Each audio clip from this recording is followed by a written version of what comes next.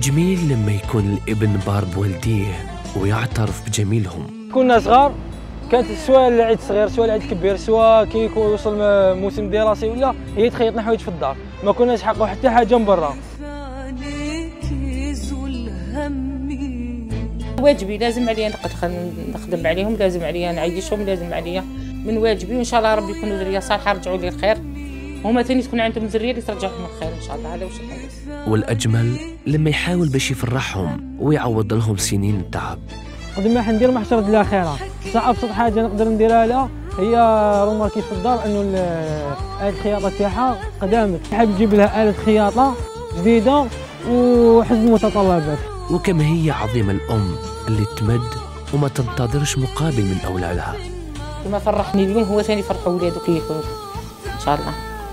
برنامج بلاد الخير في هذا العدد. يوقف مع الشاب عبد الرحمن ويساعده باش يكرم والدته ويعترف بجميلها في تربيته ونجاحه كل هذا تابعوه سهرة هذا الخميس في الأوقات التالية.